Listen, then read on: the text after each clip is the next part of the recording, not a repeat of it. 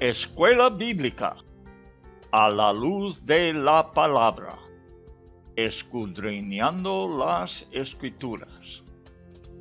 Oh, cantadmelas otra vez, bellas palabras de vida. Hallo en ellas mi gozo y luz, bellas palabras Luz a las Naciones, canal cristiano de comunicación presenta a la luz de la palabra. Un estudio expositivo de la palabra de Dios.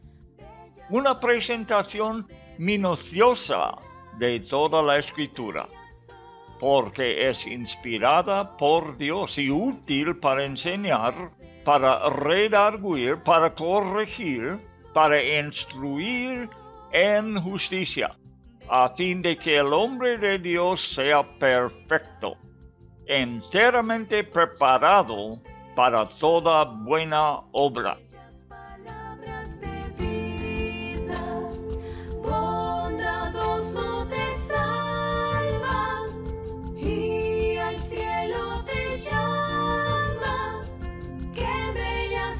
Escuela Bíblica a la luz de la palabra, edificando sobre la roca. Qué bellas son, bellas palabras de vida.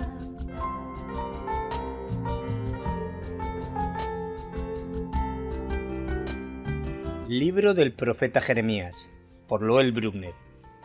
El profeta de un Dios entristecido.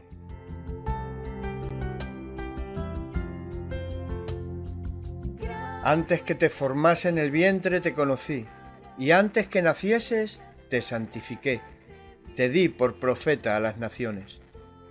Libro de Jeremías, capítulo 1, verso 5. Bellas palabras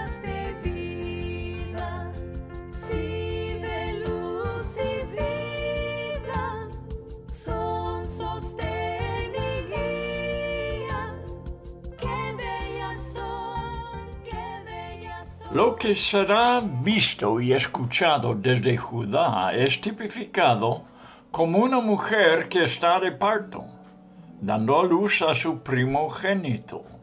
Qué angustia y desesperación profundas. El profeta lo describe con un desmayo. ¡Ay, ahora de mí! Es un desmayo interior del alma, una condición muchas veces peor que el cansancio físico. El alma queda exhausta por la gran presión que ha caído sobre ella, atormentada por demonios que hacen todo lo que está en su poder para destruirla.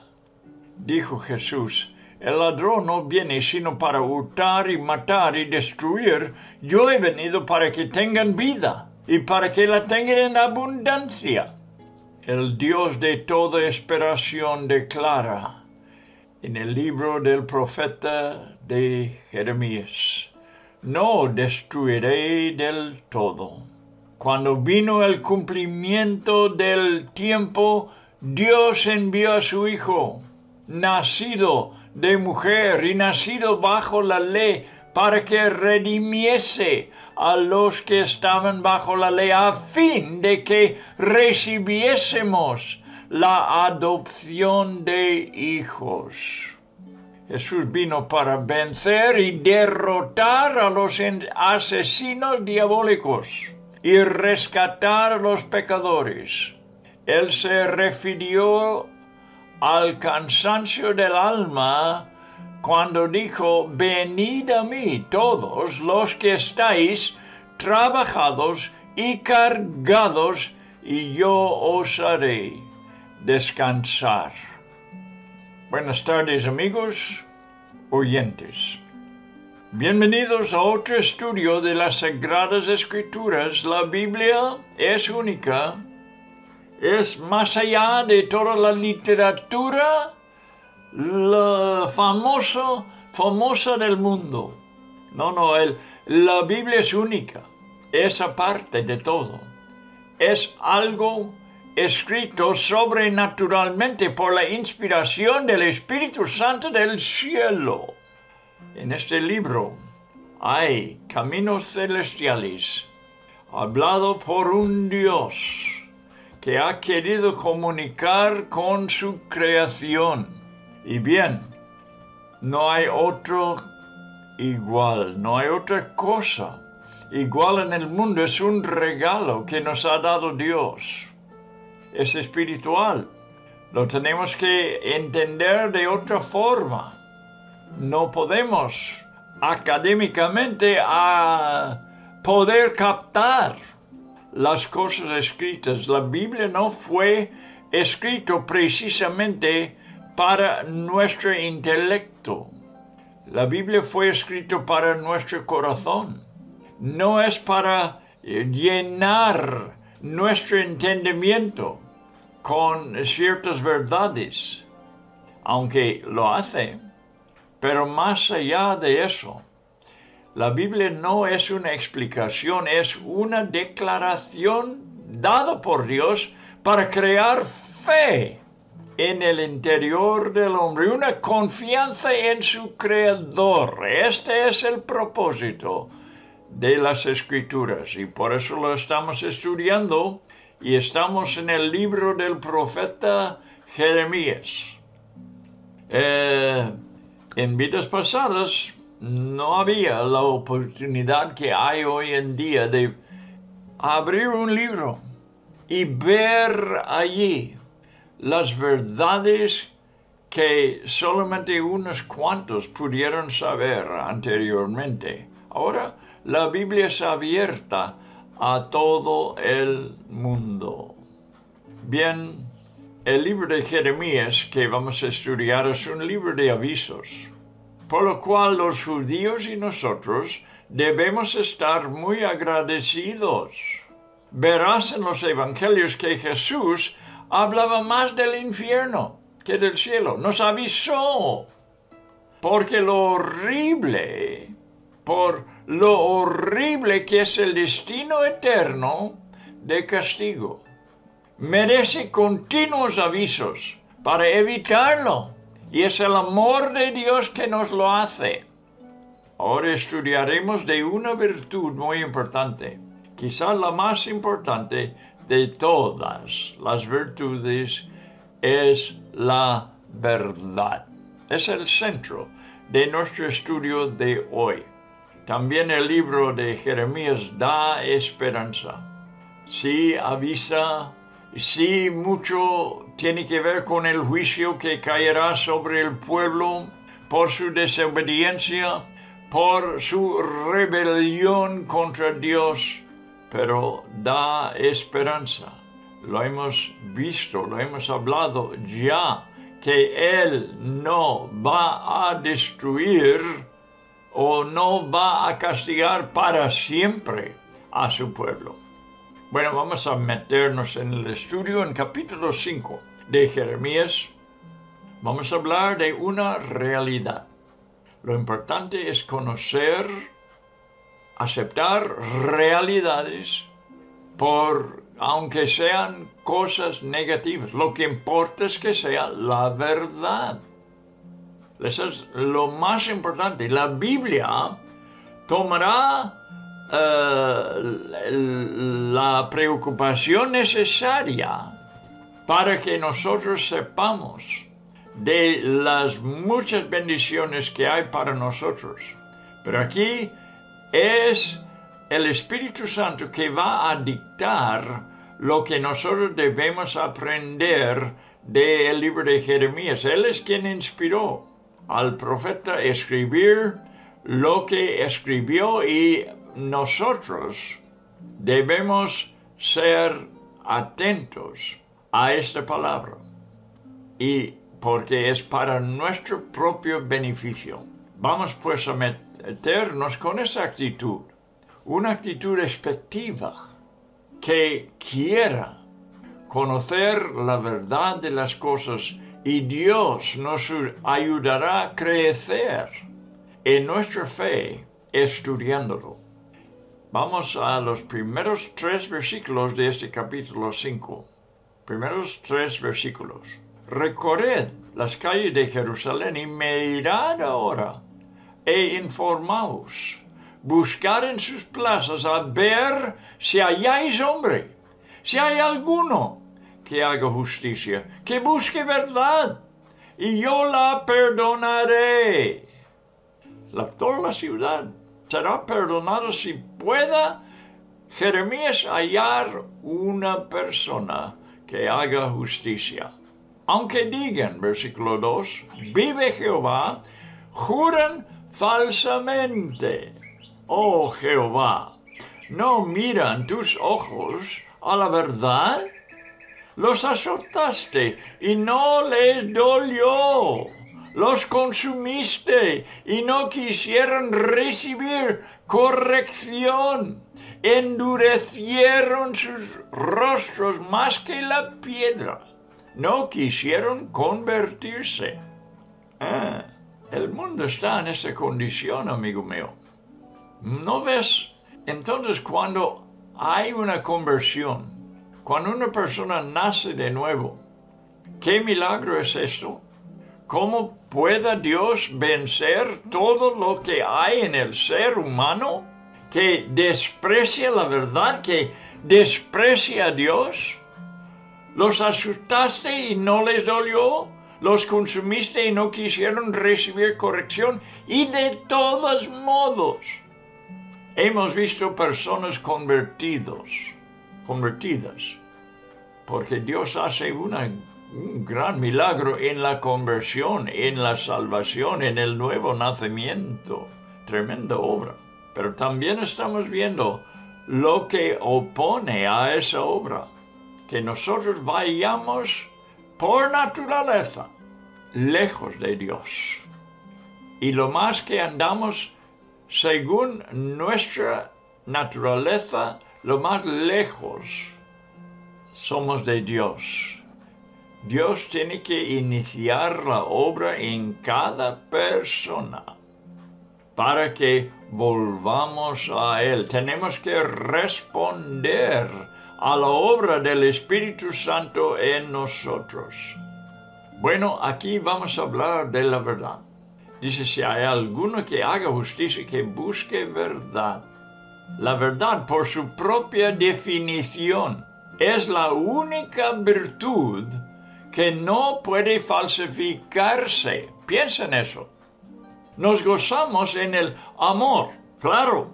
Meditamos profundamente en su significado y nos sentimos muy agradecidos cuando lo descubrimos cerca de nosotros. El amor es una cosa preciosa. Sabemos que Dios es amor y su amor no puede fallar, pero, pero sí puede ser falsificado. Digo, el amor puede ser un amor falso. Al ser poderoso, a menudo es mal utilizado e interpretado. Muchos han sido engañados por un amor falso. Lo mismo podemos decir de cualquier otra virtud como por ejemplo el gozo, la paz y la justicia, todo puede ser falsificado.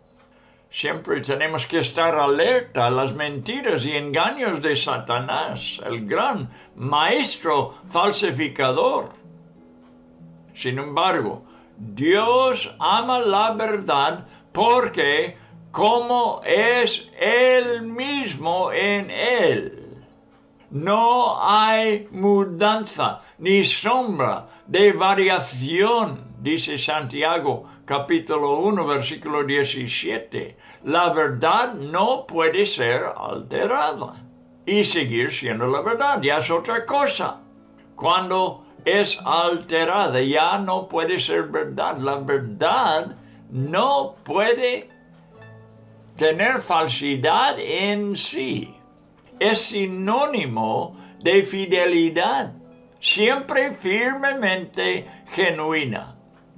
Cada palabra de Dios es la verdad y se puede confiar perfecta y completamente en ella. La Biblia es la materialización de la verdad. Y el Señor nos la ha dado como la autoridad absoluta que no puede ser cuestionada. Compra la verdad y no la vendes, escribió el rey sabio en Proverbios 23, versículo 23. Compra la verdad, no la vendes, porque no hay una posesión más valiosa. Debemos anhelarla más que a todas las cosas. Este es muy importante para que sepamos. Tiene que ver con nuestra salvación la búsqueda de la verdad es más importante que cualquier otra búsqueda. ¿Qué estás buscando tú? Debes estar buscando la verdad. Cuando Pilato preguntó a Jesús, ¿eres tú rey? Él indicó, Cristo indicó, que era rey de la verdad. Tú dices que yo soy rey, respondió. Yo para esto he nacido y para esto he venido al mundo para dar testimonio a la verdad. Él dijo, yo soy la verdad. Sin excepción, cada buscador de la verdad la hallará en él. Siguió diciendo a Pilato, todo aquel que es de la verdad, oye mi voz. Juan 18, versículo 37. Nicodemo quizás se acercó a Cristo por la noche con cierto temor, pero sus palabras en Juan 3, 2, Juan capítulo 3, versículo 2, indican que estaba buscando la verdad. Sabemos que has venido de Dios como maestro.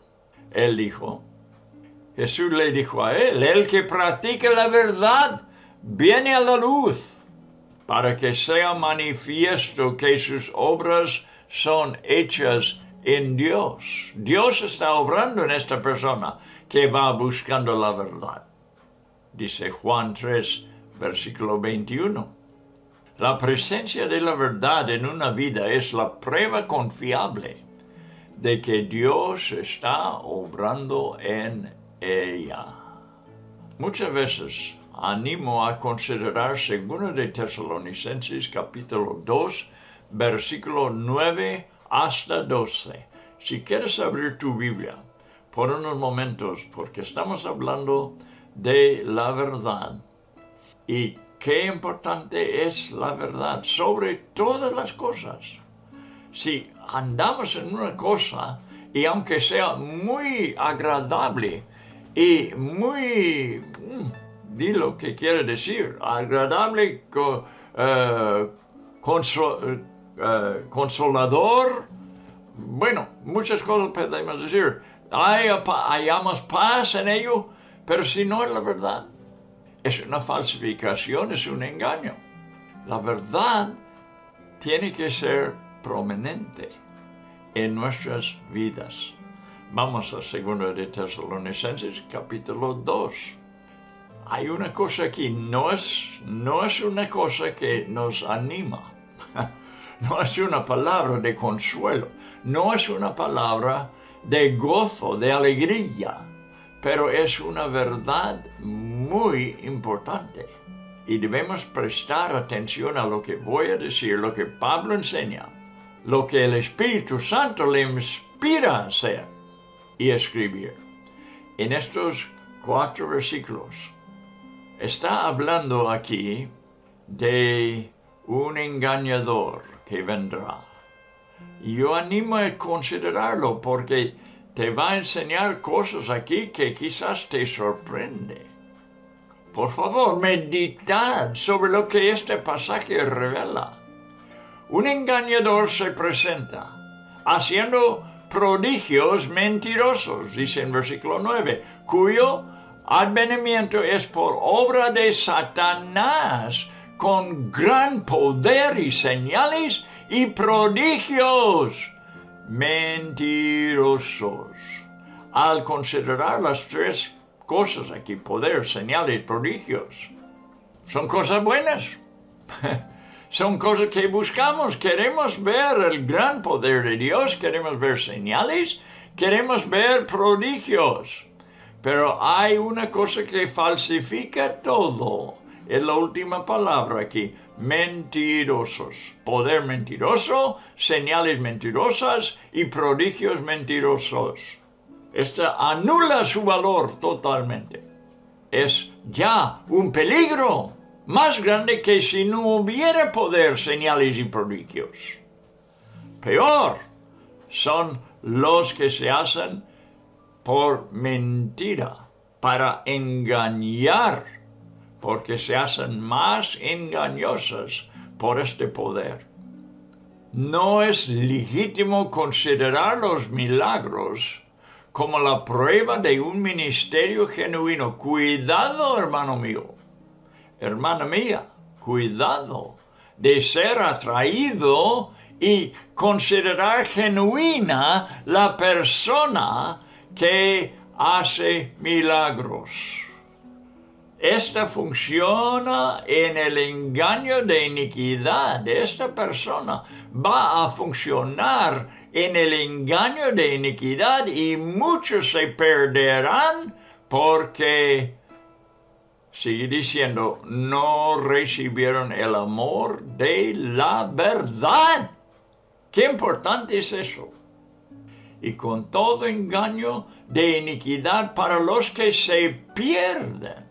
Por cuanto no, esta es la razón de su perdición, por cuanto no recibieron el amor de la verdad para ser salvos. ¿Ves qué tan importante es la verdad?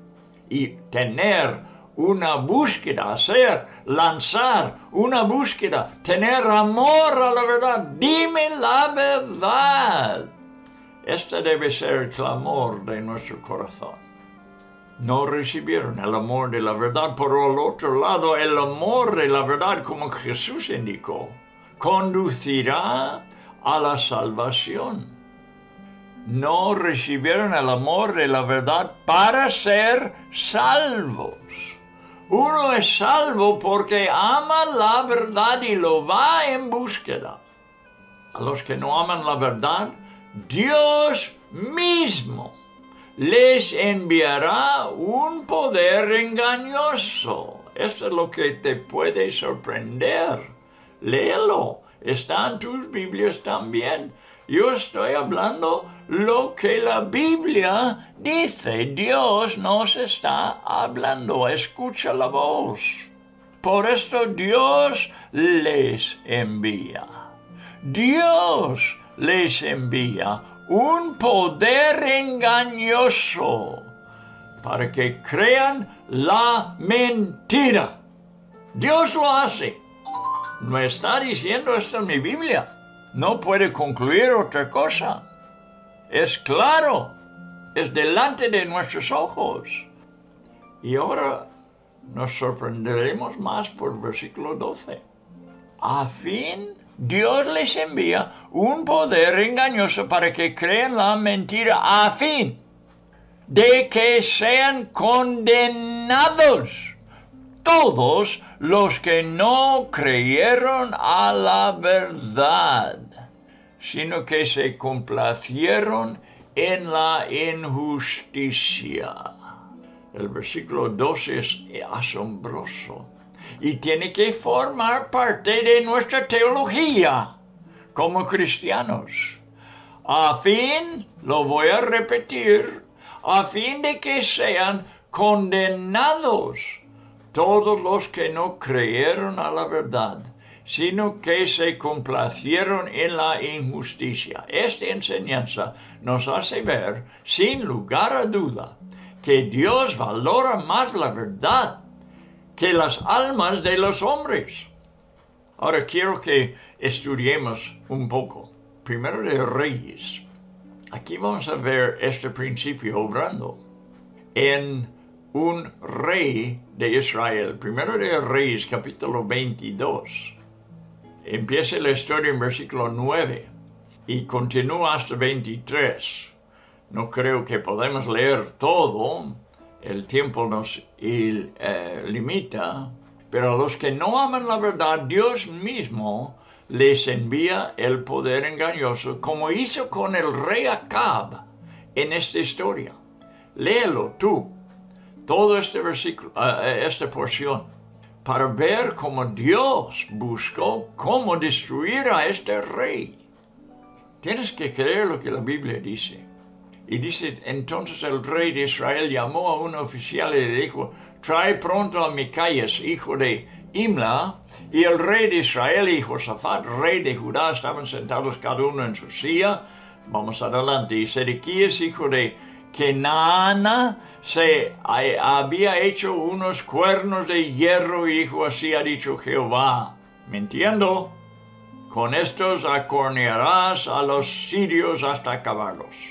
Y todos los profetas profetizaban la misma manera, diciendo, suba a Ramot de Galaad y serás prosperado, porque Jehová la entregará en mano del rey.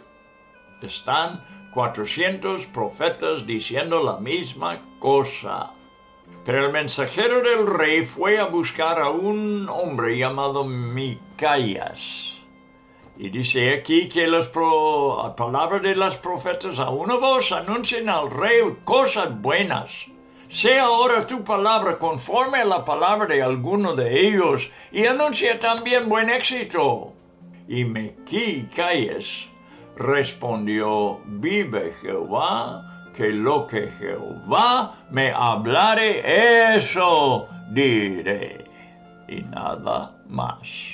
Vino pues al rey. Y bueno, vamos a ver adelante lo que eh, me, Micaías ve en las regiones celestiales. En versículo 17. Entonces Micaías dijo, yo vi a todo Israel esparcido por los montes como ovejas que no tienen pastor y Jehová dijo, estos no tienen señor, no tienen rey. En otras palabras, el rey va a ser matado. Vuélvese cada uno a su casa en paz. Y el rey de Israel dijo a Josafat, ¿no te lo había yo dicho? Ninguna cosa buena profetizará él acerca de mí, sino solamente el mal. Entonces él dijo, oye pues palabra de Jehová. Yo vi a Jehová. Escucha esta parte. Este está confirmando lo que hemos leído en Segunda de Tesalonicenses. La misma cosa pasa aquí.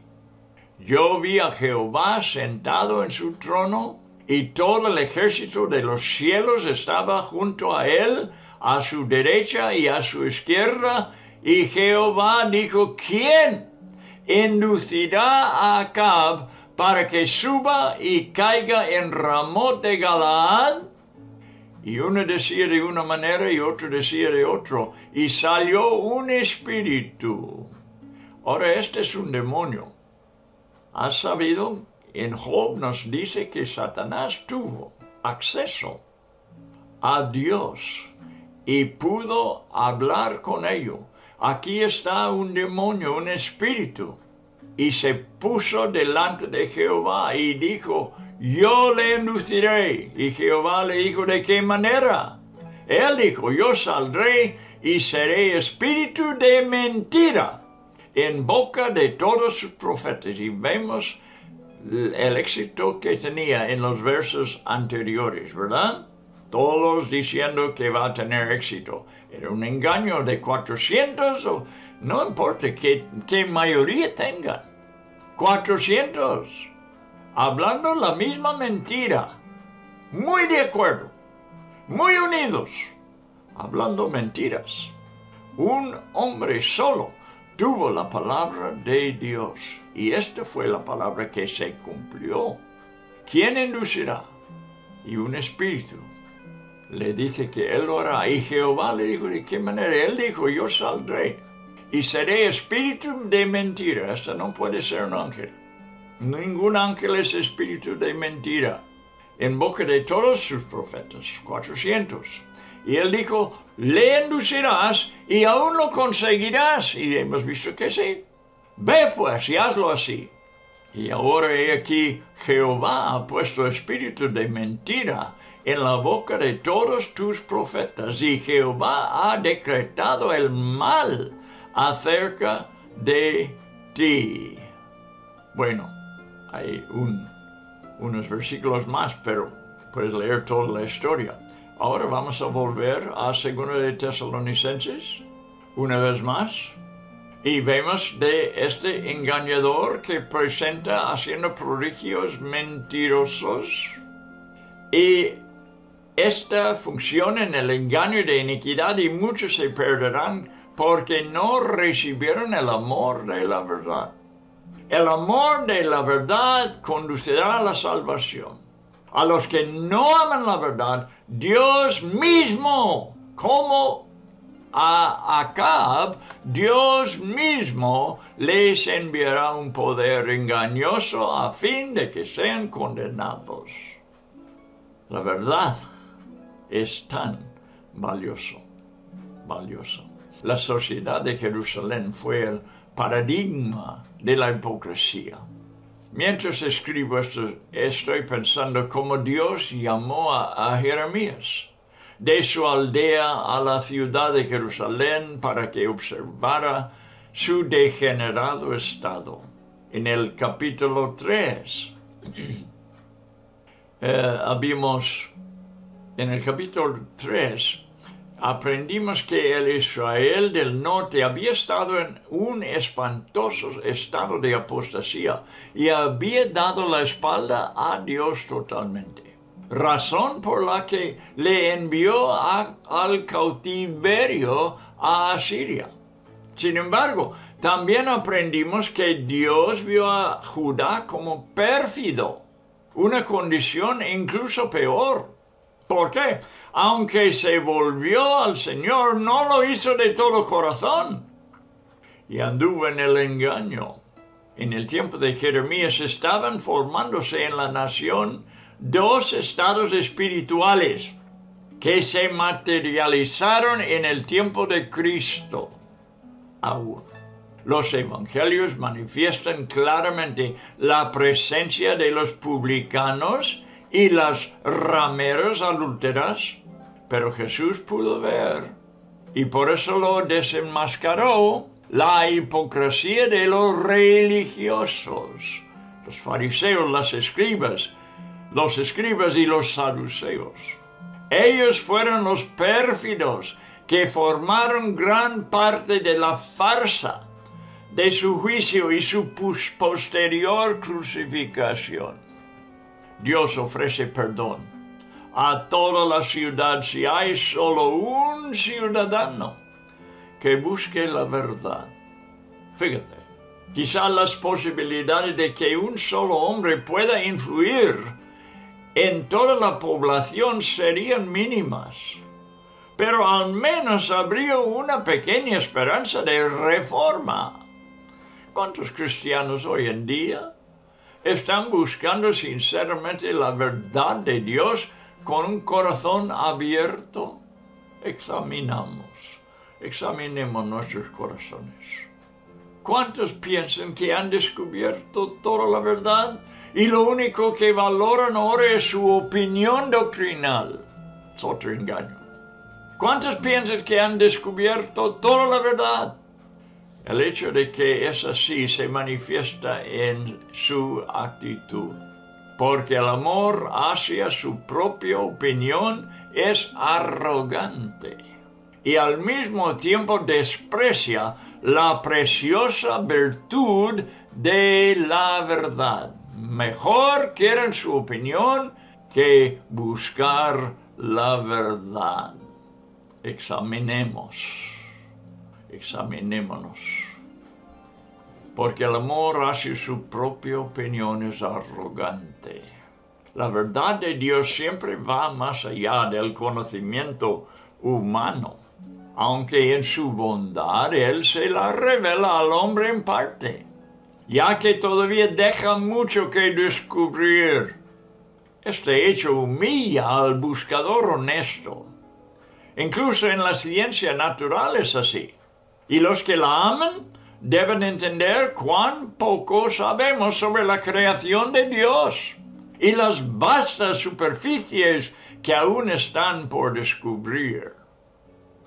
La justicia perfecta se presenta en sus palacios seculares como una señora con una venda puesta. ¿Has visto el símbolo?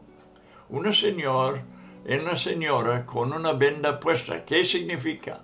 Ella no está consciente a los prejuicios políticos, a las castas entre la humanidad o a las preferencias raciales. Está ajena a la fama y a las ganancias económicas. Su único amor y meta es precisamente la justicia. Y Dios mismo es la fuente de justicia y solamente Él la exhibe perfectamente. Pero Pedro expresó que entre la humanidad, refiriéndose a los gentiles, puede haber un intenso hambre por la justicia. Hechos 10, versículo 34 y 35. En verdad comprendo que Dios no hace acepción de personas, sino que en toda nación se agrada del que le teme y hace justicia. Lo que Jeremías debía buscar, según el primer versículo, Pedro lo tenía frente a sus ojos en la casa de un centurión romano. Moisés declaró en la ley, Deuteronomio 10, 17 y 18, porque Jehová nuestro Dios es Dios de dioses y Señor de señores, Dios grande, poderoso y temible, que no hace acepción de personas, no tiene prejuicios Dios, ni toma cohecho, que hace justicia al huérfano y a la viuda, que ama también el extranjero dándole pan y vestido. La religión muerta tristemente es superficial y no puede ser más profunda que los labios. Los mexicanos de la Costa Chica, donde vivíamos, cerca del Océano Pacífico, me enseñaron este principio. Del pico para fuera. Este era un dicho entre ellos. Del pico para fuera. Juran falsamente, como dijo Jeremías. Creo que puedo decir con toda certeza bíblica que Dios busca gente que ame la verdad sobre todo. Los que se endurecen contra la verdad cuando son castigados es porque no ven la mano de Dios en el azote. Cuando son consumidos no reconocen su castigo. En versículo 3, endurecieron sus rostros más que la piedra y no se arrepientan. Su corazón es permanentemente incurable. Los azotaste y no les dolió. Los consumiste y no quisieron recibir corrección. Endurecieron sus rostros más que la piedra. No quisieron convertirse. Versículo 3. Vamos a ver unas metáforas bíblicas y sus definiciones. Entonces, versículo 4. Pero yo dije, ciertamente estos son pobres, han enloquecido, pues no conocen el camino de Jehová, el juicio de su Dios. Esta es la condición de muchísima gente. 5. Iré a los grandes y les hablaré, porque ellos conocen el camino de Jehová, el juicio de su Dios.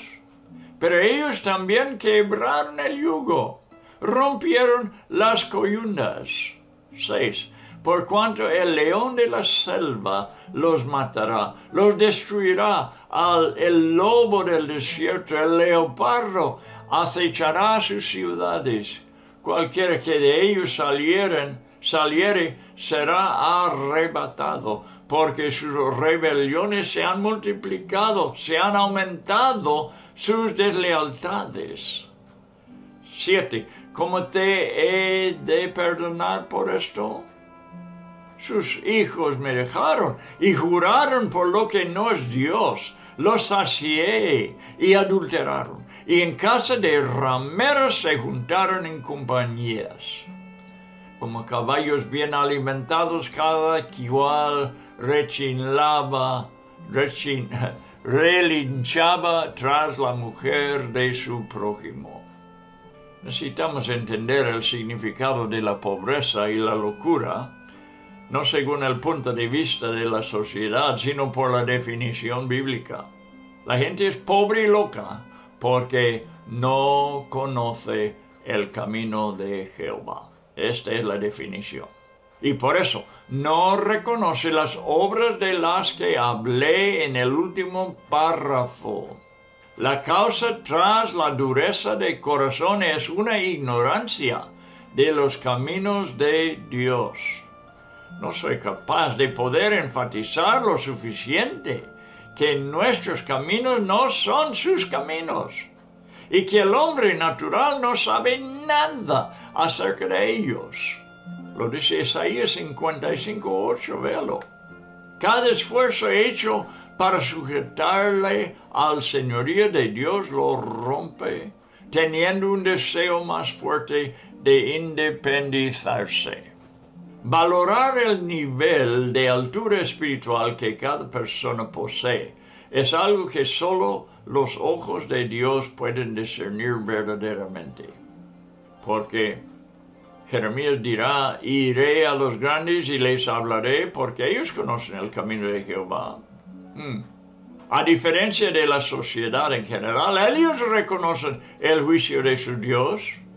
Veremos esta doctrina expresada por el escritor de Hebreos. Si se os deja sin disciplina, de la cual todos han sido participantes, entonces sois bastardos y no hijos. Hebreos 12:8. Él quiere que sus lectores sean grandes espiritualmente, que reconozcan la disciplina del Señor, es decir, su juicio. El libro de Jeremías dice que la fornicación espiritual es idolatría, pero también la fornicación literal es una práctica idólatra. Las metáforas de un león, un lobo y un leopardo en el texto que ilustran la futura venida de Nabucodonosor con su ejército. También pueden ser literales, sea, literalmente leones, lobos y leopardos atacarán al pueblo. El pueblo cuyo pecado se ha incrementado y le ha separado de Dios tiene que vigilar por si hay bestias salvajes al salir por la noche. Mis amigos indios no me seguían la corriente cuando les expresaba mi deseo de ver a un leopardo libre. Me decían que literalmente el leopardo acecha las ciudades. Y cuando muere alguien, eso es lo que me dijeron, su familia tiene que proteger el cadáver del leopardo que puede encontrarlo debido al sentido del olfato tan agudo que tiene. me decían, te llevamos a un parque zoológico. Ellos no quisieron ver un leopardo. Mi anfitrión, cuya misión está entre la gente de la montaña, muy al interior de la India, me contó cómo un leopardo saltó por encima de él mientras descansaba en una hamaca a la fresca de la noche. Corría tras un perro al que alcanzó instantáneamente. En una revista de una aerolínea en India leí que todavía existen tigres que atacan a las personas en ciertas áreas del país y son muy temidos. ¿Cómo puede perdonar Dios a personas que siguen viviendo en la idolatría? Este pecado era muy prominente en los tiempos del Antiguo Testamento, pero veo que continúa siéndolo ahora acepto varias de las definiciones que algunos han sugerido acerca de este pecado. Cualquier cosa que tome lugar que pertenece a Dios. O cualquier cosa que tenemos en lugar de temer, que tememos en lugar de temer solamente a Dios. Un ídolo, dice. Pero la siguiente es la más común. un concepto extra bíblico que atribuimos a Dios formado por pensamientos con los que estamos cómodos y nos convienen. No, no. Tenemos que recibir nuestro concepto de Dios 100% de la escritura. En los versículos 7 y 8, el adulterio es literal. Vamos a leerlo. ¿Cómo te he de perdonar por esto? Sus hijos me dejaron y juraron por lo que no es Dios, los sacié y adulteraron, y en casa de rameros se juntaron en compañías. Como caballos bien alimentados, cada cual relinchaba tras la mujer de su prójimo. Lo hemos leído. ¿Cómo puede perdonar a personas que siguen viviendo en la idolatría? Un concepto extra bíblico forma un ídolo. El adulterio es literal y también la metáfora sobre la idolatría. Una generación criada en tiempos cómodos no responde bien a la disciplina y por eso, cuando son adultos, continúan dando lugar a sus pasiones. Adulteraron, dice, y en casa de rameros se juntaron en compañías. Dios aborrece cada pecado sexual, pero especialmente el adulterio. Dios en todas las áreas de la vida trata muy bien con su pueblo, pero Judá no apreció su favor y abusó de su saludable situación. Hablando del estado moral de un pueblo siempre es más difícil mantenerlo en la prosperidad. Es más fácil mantenerse cerca de Dios durante los tiempos difíciles, incluso bajo la opresión y la persecución. Bueno amigos, lecciones tan importantes. Dios nos ha eh, indicado claramente en su palabra por medio de su profeta cosas que afecta a todo ser humano en toda su vida. Nosotros los cristianos debemos ser más sabios que nuestros maestros, como dijo David, porque fue enseñado por Dios, porque fue enseñado por las escrituras. Tenemos la mejor instrucción en la Biblia sobre los asuntos de la vida. Y sabemos que también, aunque Dios nos avisa, que Dios nos hace entender, que Dios nos enseña para que nosotros dejaré, de- dejaríamos la señorío, que su señoría nos gobierna mientras que andamos en este mundo. Podemos someternos al señorío de Dios. Es el paso más sabio que el hombre puede tener. Dejar el trono de su vida, de su corazón, dejarlo, alejarse de ese trono y dejar que Cristo Jesús se sienta en el trono de su corazón, que nos gobierna, porque nosotros hemos sido participantes de una na- naturaleza caída, la naturaleza de Adán. Y solamente podemos nacer de nuevo y tener una naturaleza compatible con Dios cuando dejemos que Cristo se sienta sobre el trono de nuestras vidas. Este es lo que deseamos. Para cada persona que me escucha ahora, amigo mío, que no eres cristiano, que nunca te has entregado tu vida a Cristo, te tengo que avisar que estás andando en un engaño. Cualquier persona que no reconoce a su Dios ha sido engañado. engañado muchas veces solamente por la independencia. Yo quiero gobernar mi propia vida, diré. Y esto es lo que me condenará, porque no soy capaz de gobernar mi vida. Dios es mi creador y tengo que someterme bajo su poderoso mano. Y allí también encuentro yo descanso. Allí encuentro yo seguridad bajo la sombra del Altísimo. Allí estoy bien protegido. Y tú también puedes ser.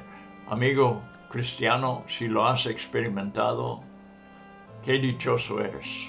Que Dios te bendiga más y más.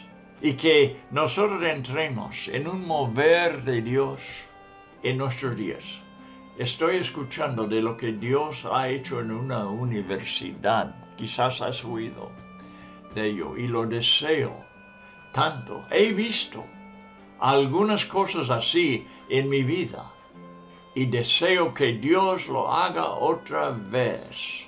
Que Él venga con su presencia y que su presencia domina en la iglesia y que Él conmueve los corazones, convenciendo del pecado, haciendo que la persona confiesa su pecado y lo abandona para que Él pueda mover en su santidad en aquel vida y le dará a esa vida una alegría que pasa todo conocimiento.